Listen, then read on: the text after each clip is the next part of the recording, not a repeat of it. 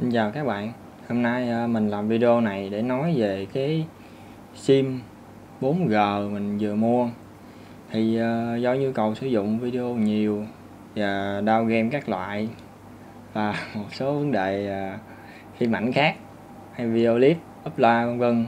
Thì mình muốn giá rẻ và muốn đi tìm hiểu và mua được một cái sim 4G của hãng Mobifone là nó không giới hạn dung lượng như vậy á, thì nó xài thoải mái hơn. Chứ bình thường mấy cái gói cước thì một ngày nó chỉ cho hai sáu ghi gì đó. Thì không đủ nhu cầu mình sử dụng nhiều trong một ngày. Tại mình xài với cường độ cao hơn so với người bình thường. Thì uh, mình có tìm hiểu và mình thấy một cái sim gói cước họ sử dụng là VB B 51 thì cái sim này á, là do ngân hàng vi bi bờ bờ băng á, phối hợp với Mobifone phối hợp với nhau làm ra cái bộ sim này. Đó để thì uh, cái tốc độ mình thấy họ quảng bán và quảng cáo á, là download là khoảng 52 megabit trên giây còn upload là 20,9 megabit trên giây. Thì pin khoảng 27 gì đó hoặc là 2 ms trên giây. Thì cái tốc độ upload download càng cao thì cái tốc độ mình mong muốn để tải phim coi phim hay làm bất cứ cái gì đó trên mạng thì nó sẽ dễ dàng hơn. Chơi game cũng thoải mái hơn pin càng thấp thì càng chơi đỡ bị lắc.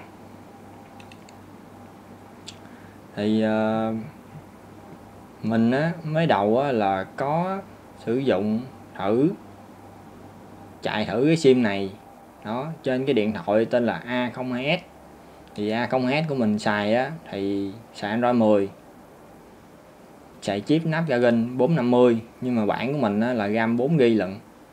Thì mình sẽ mình chạy thử trên cái điện thoại á thì được thông số như sau.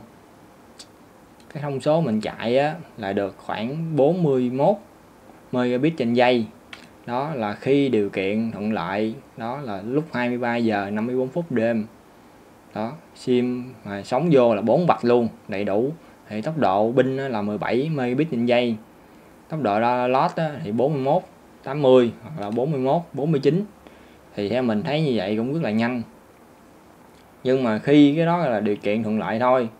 Còn khi á, mình à, bị rớt xuống khoảng 3 bạch sóng á, thì mình chỉ còn là khoảng 35 đó, hoặc 30 gì đó thôi. Đó pin thì vẫn giữ nguyên là khoảng 18 nên rất thuận lợi cho các bạn trong việc chơi game như đánh uh, online gì đó bắn súng nguyên lưng để với mọi người ở nước ngoài cũng được. Thì uh, mình sử dụng trong đây là thiết bị của Tobelin cái con này á, là thiết bị mà gắn sim vô xài luôn. Đó của Tobelin thì từ từ mình mình sẽ có cái clip nói về cái con này sau đó. Thì mình gắn vô thiết bị này á, thì cái này cũng là một chiếc thiết bị chất lượng của Tobin Tobelin hỗ trợ 4G thì theo mình hồi năm ờ, 2022 này nè cái con này mình mua là cái con cái hãng Tobelin nó có bán trên mạng để gắn sim vô mà sử dụng. Cái phòng của mình á, là là ngay sát lan can luôn. Đó là lầu 1 đó mà mạng vui á, thì được hai vạch. Hoặc là buồn á, thì lên ba. Đó mà càng vạch càng nhiều thì cái sóng nó càng mạnh. Nhưng mà hiếm hiếm khi lên ba lắm thỉnh thoảng mới lên ba thôi. Ở đây á, là mình vô một cái trang test tốc độ để coi cái tốc độ mạng trên máy tính thì thế nào. Thì mình chạy thử là đều khoảng 47,98 thì upload là 39.01 server là Hồ Chí Minh. Thì mình đang ở thành phố Hồ Chí Minh. Đây là cái địa chỉ IP của cái Mobifone luôn nè. Thì pin thì 18 thì theo mình thấy như vậy cũng khá là ổn định. Và mình chạy tiếp lần hai test thì nó chỉ còn 36 thôi có thể là chu kỳ này nó đang xuống khoảng hai vạch, hoặc là có thể tầm đó. Thì upline chỉ còn 25 thì mình chạy lần thứ ba thì nó lên được là 40 39 11 đó. Thì các bạn thấy đó, một phần lớn tốc độ hay không là do thiết bị mình có ổn định hay không, chất lượng hay không. Thì thiết bị chất lượng thì nó xài càng tốt, tóm lại là xài được. Phục vụ cho các nhu cầu chơi game lên mạng, coi đi video upload video bình thường thì cái chiếc sim này có thể đáp ứng cho các bạn. Thì khuyết điểm mình thấy ở sim này á là chỉ có là nó là sim thuê bao trả sau. Đó. Thì các bạn muốn sử dụng sim này các bạn phải dùng thuê bao trả sau thôi. Thì chu kỳ một tháng các bạn sử dụng là khoảng đóng khoảng 100 ngàn. Đó. Thì mình xài cái gói này hơn 3 tháng rồi. Thì à, nếu mà không gọi nhắn tin mà chỉ xài lên mạng là 3G thì chi phí mình trả cho vòng vòng một tháng chỉ có 100 ngàn.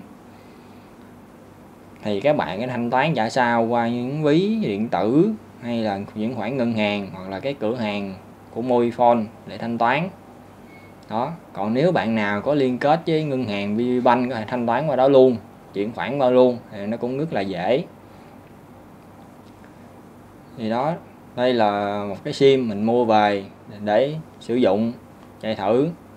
Thì các bạn nào có nhu cầu sử dụng mà dung lượng không giới hạn, mà có một mức giá hợp lý khoảng 100 ngàn một tháng thì các bạn có thể sử dụng. Đó. Gói cước này nhé rồi cảm ơn các bạn đã theo dõi.